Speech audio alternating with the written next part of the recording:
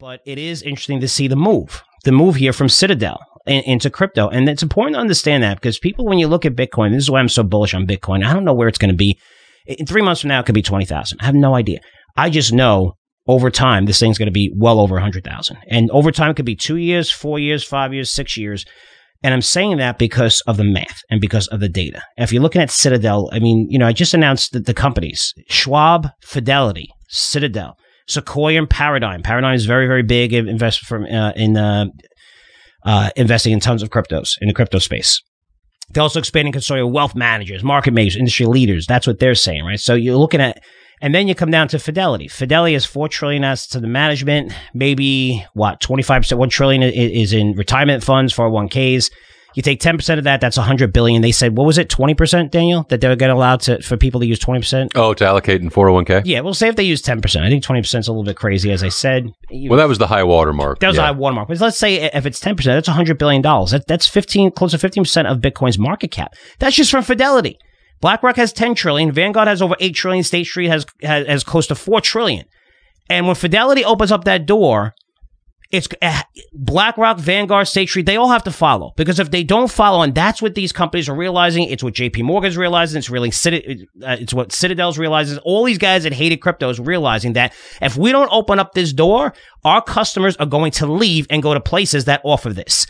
And they are going to leave, and you're going to see outflows from these places into Fidelity because they're going to want to invest in crypto because it's very, very exciting. That's where they want to speculate. And when you speculate in this money, the returns could be 30x, 50x, 100x, which we've seen in almost all the top 100 cryptos at one time or another, which you cannot see those gains anymore. People are worried about, are, wondering why the, pri- the the public markets are shrinking and not as many companies are, going public. Why? With all the regulation, all the bullshit, all the cells, all this SPACs, all this garbage where you don't have to disclose stuff.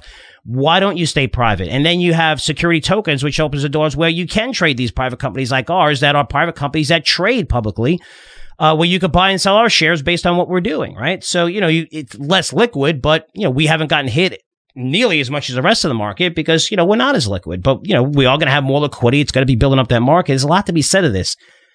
But the takeaway is this, guys. Bitcoin is here. It's here to stay. It's a massive market, and all the institutions have yet to come in. That's why that Biden announcement, executive order, was such a big deal. At least he announced it which now the framework is in place. You're seeing more and more framework, more and more politicians come out and say, hey, we're going to provide the, you know, the framework behind this. When they do, that's when you're going to see institutional money coming in. And the institutional money is in the trillions of dollars. So if you're a Bitcoin fan and say, oh, this, everything should be decentralized and, and, you know, off platforms, you know, no regulation or whatever, if you want that, there's no way you could think that Bitcoin's going to 100,000. The way it goes to 100,000 is by getting the big money in, which is all this retirement accounts, talking trillions and trillions of dollars. What does Bitcoin have? A $600 billion market cap or something? So this is where the money's flowing into. It's coming in. Fidelity announced it. You're going to see BlackRock, Vanguard, State Street. All these guys are going to announce it. They're going to have crypto as an alternative investment for retirees that you could invest in. The funds are coming. That's when you're going to see this explode. I don't know when it's going to happen. We're in a bear market. We're risk off.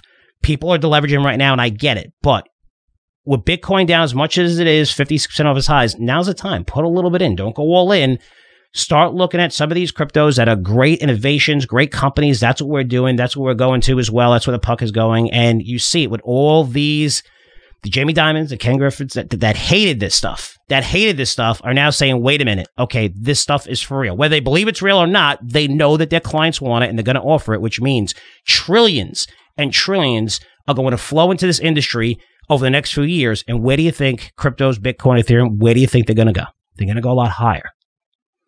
That's why you need to get into it.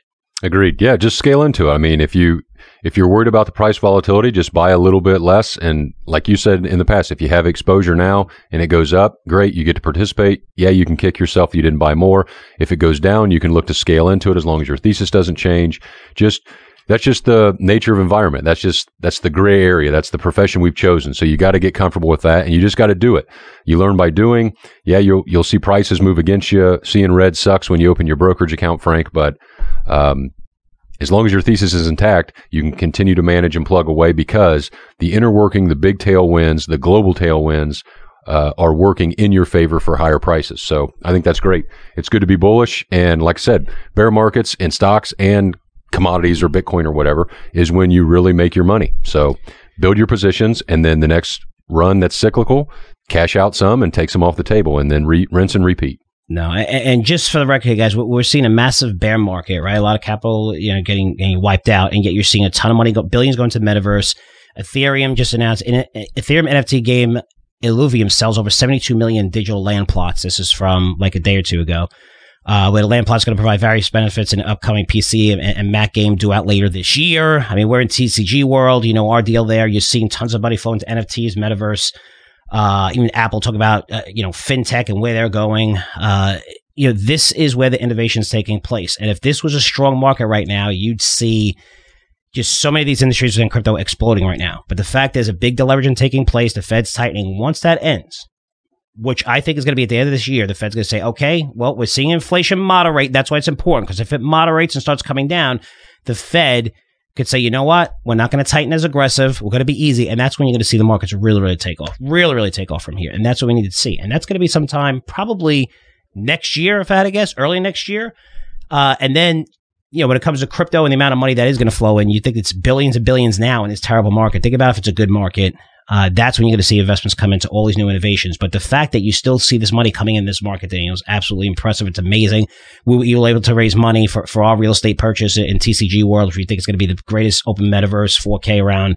Uh, which is open in September. We're very, very excited about that deal, and more and more people keep signing on to that platform. But this is where I say it a lot, where the puck is going. This is where the money's going right now uh, the big institutional money is going, and you should be investing it because a lot of these things are down significantly, and it's yep. giving you a great opportunity to invest in this thing over the long term. So uh, I'd position accordingly.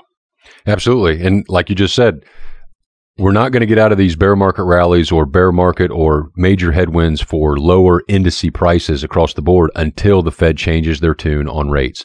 So until then, just keep in mind that we're in a different environment than what we've been in. So that's fine. It doesn't mean it's bad. It doesn't mean you can't play or make money. It just means that that's the most important macro point you can think of.